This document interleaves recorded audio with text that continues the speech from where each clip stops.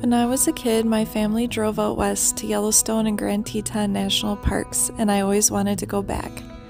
This is the story of the 3,100 mile motorcycle camping adventure that took place over 20 years later. On my quest for adventure and source material for a new painting collection, we encountered wildlife, harsh conditions on the open road, and nights by the fire under the stars. My first painting is now underway from our Delta Lake hike, but let's start from the beginning when we left home on the motorcycle in the pouring rain. I quickly recorded the rain in the backyard just as we were leaving. I knew that I wouldn't be able to film the harsh weather on our journey, but it seems that every time we got to our destination and set up camp or went sightseeing, this is the kind of weather that we were rewarded with. Due to limited space, we couldn't bring a lot of luxuries on our trip, but we did have coffee every morning and it was amazing. Many of our traveling days looked like this, but I'm gonna skip ahead to the good parts to make this video more interesting. In South Dakota, we took Iron Mountain Road from our campground to visit Mount Rushmore. This is the road that has the tunnels carved in it that perfectly frame Mount Rushmore in the distance like a picture. This was a really fun road to ride on a motorcycle because of all the twists and turns. We went super early in the morning, so there wasn't hardly any traffic, and it was very beautiful. We saw a buffalo also walking alongside the road. Here you can see Mount Rushmore as you get to the end of the tunnel right there.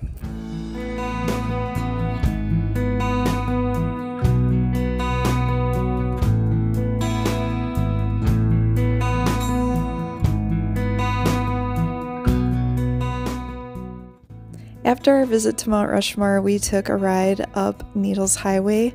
This was an incredible view, however, there was tons of traffic because we went in the middle of the day. I imagine if you went first thing in the morning, like we did the Iron Mountain Road, you would be met with an incredible motorcycle ride.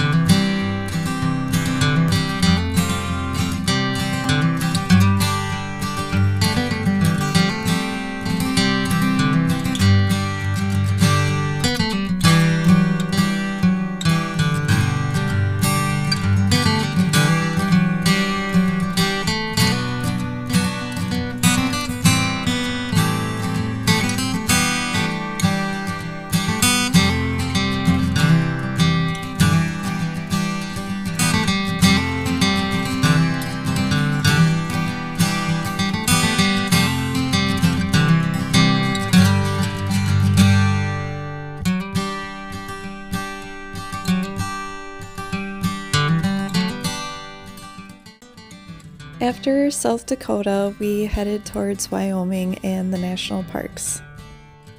Our ride across Wyoming was 107 degrees, which we decided was way worse than riding in the rain.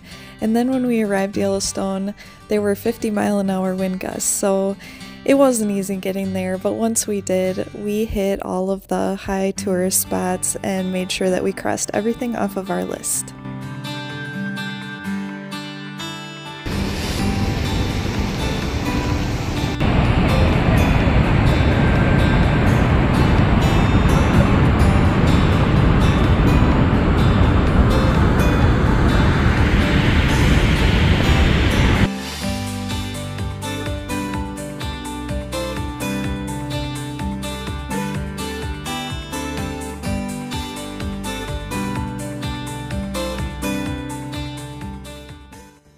Of course, we encountered many buffalo traffic jams in Yellowstone, which I will say that I now understand why I didn't see a lot of motorcyclists going through the parks. It's a little scary.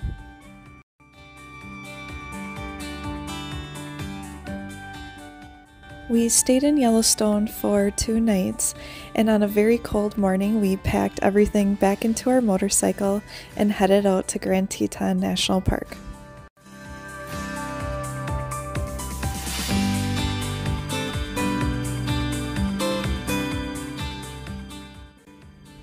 Grand Teton National Park welcomed us with beautiful weather and amazing views.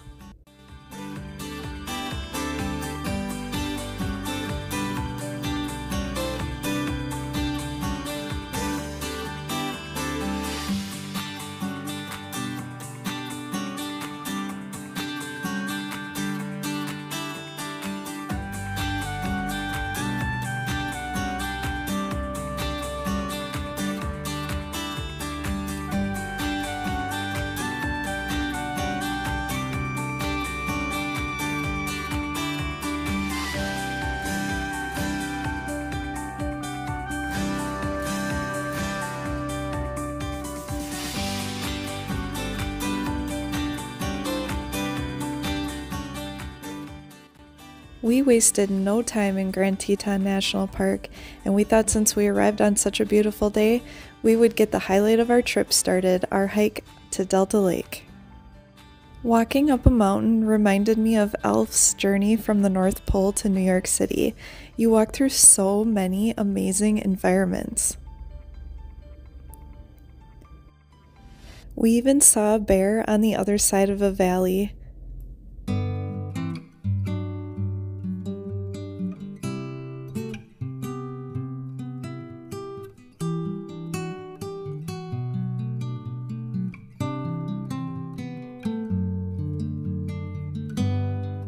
We walked through the forest, alpine meadows, and over boulder fields to ultimately arrive at Delta Lake.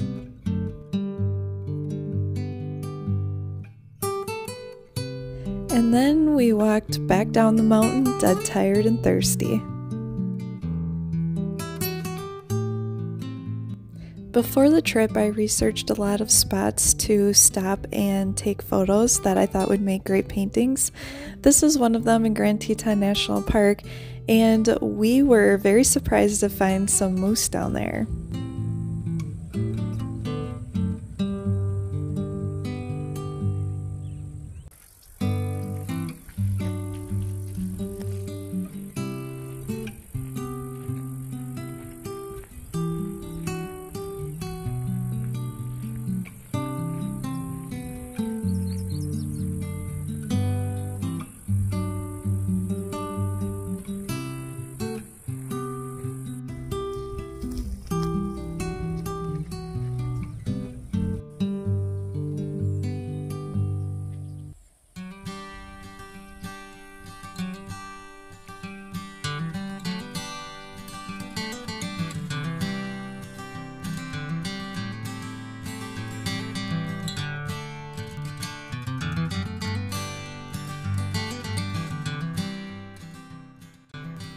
We reserve campsites six months in advance at the coveted Jenny Lake Campground.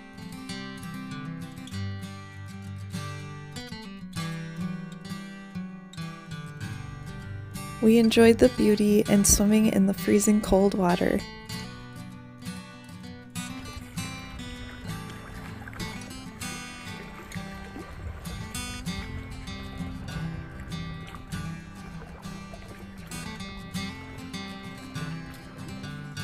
It was time to pack up camp for the last time and start our journey home, where so much more bad weather was awaiting us.